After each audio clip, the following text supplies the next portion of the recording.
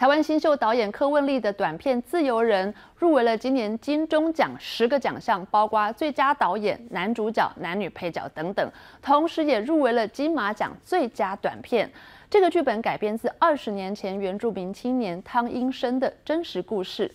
汤英生当年从部落来到都市工作，因为不堪雇主虐待，竟然犯下了杀人罪。虽然各方援助，但是最后还是被判死刑。柯文丽的短片把死刑犯换成了更生人，他很想探讨，如果当年汤英生没有被处死刑，接下来会怎么发展？他是阿杰，二十年前因误杀罪入狱服监，刑满出狱后在一家洗衣店工作。他希望重新开始。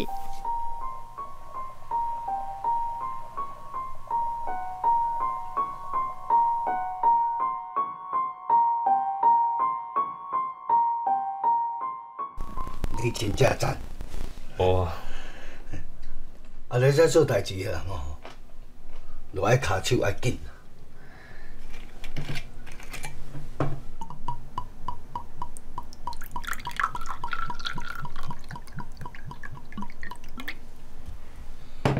哎哎，林姐，我假设说，二十年前汤医生如果他还在的话，就是如果他没有被被判死刑，他被关了，二十年后，他放在这个社会里面出来了，放在根生人出来这个社会里面，社会怎么对待他？他有没有机会获得自由？有没有机会再一次的获得真正的自由？这是今年入围金马奖以及金钟奖迷你剧集十项奖项的《自由人》，导演柯文丽改编自真实事件的作品。二十年前，十八岁的邹族青年汤英生离家到台北工作，不但身份证被扣留，还被迫超时工作。不堪雇主虐待的他，一时愤怒犯下杀人罪。各界请愿拯救汤英生，但依然被判死刑，是全台湾最年轻的死刑犯。我自己也是从马来西亚来的，然后呃来台北工作，来台北念书，然后我就想想到说，哎，其实汤医生也是从阿里山上下来台北，然后他也是来找一份工作，那可是在这个整个过程当中，他就有不好的遭遇，跟我自己，我来这边很幸运的可以认识一些很好的朋友，那个遭遇不一样，其实就命运就不一样，那我就觉得这个就很想把它拍出来。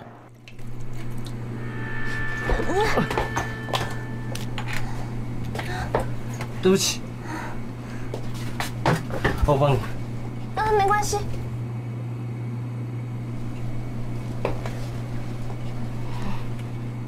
入围金钟迷你剧集男主角奖的演员施明帅饰演出狱后到洗衣店工作的根生人阿杰，他和同时入围男配角的资深影人蔡爸有精彩对手戏。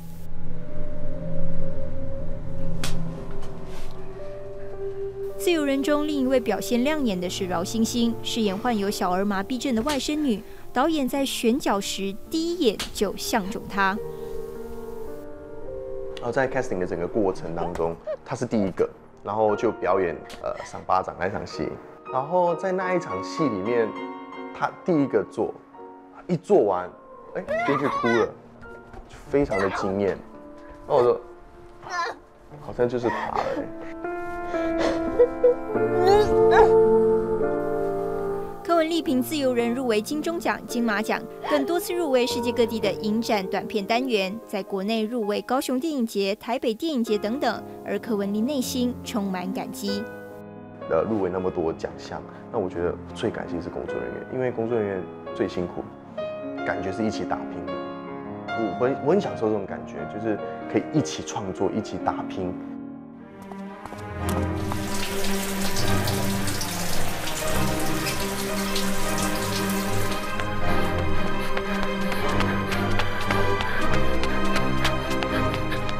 自由人剧情紧凑，环环相扣，透过根生人与社会之间的拉扯，揭开难以承受的真相。